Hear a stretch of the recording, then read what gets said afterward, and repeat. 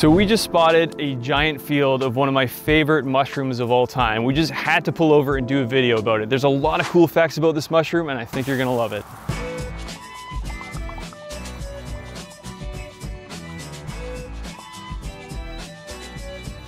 The mushroom is Coprinus comatus, also known as the shaggy mane. And you can see why it gets that name, right? It has this long cylindrical appearance and it has a shaggy look. It's also sometimes called the lawyer's wig, and also you can kind of see why it has that name because, well, kind of looks like a lawyer's wig. So shaggy manes are a relatively common mushroom, and they grow on lawns or fields or grasses, basically anywhere that has a really nitrogen-rich environment. And they'll often fruit in big groups, although something like this is really out of the ordinary. I've never seen such a giant field of shaggy mane. But if you are looking for shaggy mane, this is typically where you'd look, in grasses and fields and lawns, but just make sure that you don't confuse it with another mushroom species that might be potentially poisonous. The one that I can think of off the top of my head is Chlorophyllum molybdites, AKA the vomiter.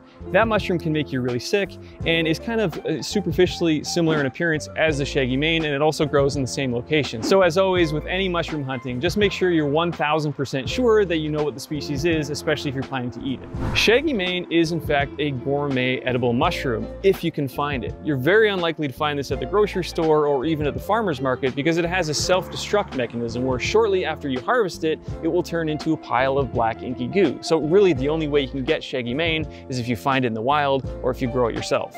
Whoa, look at this one. That is definitely the biggest of the bunch and maybe one that I might want to take home because remember, shaggy mane is a gourmet edible mushroom and it's one that is often sought by foragers to take home and enjoy. But there's always been this misconception that shaggy mane should never be enjoyed with alcohol. So for example, you wouldn't want to cook up a bunch of these and enjoy a glass of wine. And the reason why that was thought to be was because of shaggy mane containing coprine. Coprine is a compound that causes kind of an instant hangover when mixed with alcohol. And in fact, it has been been commercialized for the use of treating alcoholism so that if people drink alcohol, they'll get kind of this instant hangover and they will try to avoid drinking alcohol. But the fruiting body of shaggy mane or Coprinus comatus does not actually contain coprine. Instead, it's found in a close cousin of this mushroom known as the common inky cap or Coprinopsis atramentarius. So although you still might want to have some caution around drinking alcohol and eating shaggy mane, it's probably nothing to worry about. If you cut one of these mushrooms in half and you look at the gills, you'll notice that they're packed packed together insanely tight. And thinking that the gills are the structure that releases the mushroom spores, it'd be pretty difficult for this mushroom to release its spores out into the air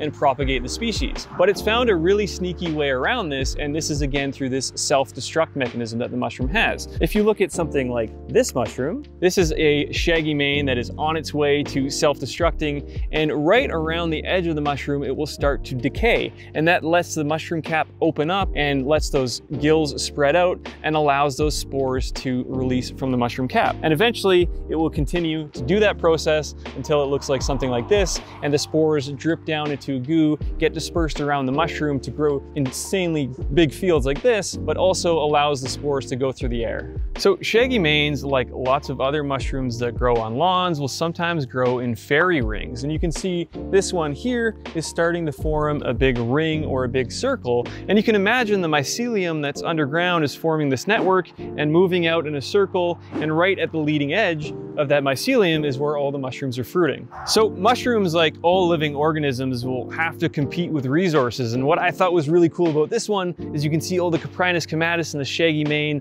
almost forming like a front line versus an agaricus species, which is obviously fruiting really heavily here. And right in the middle is the battleground between the Coprinus and the agaricus.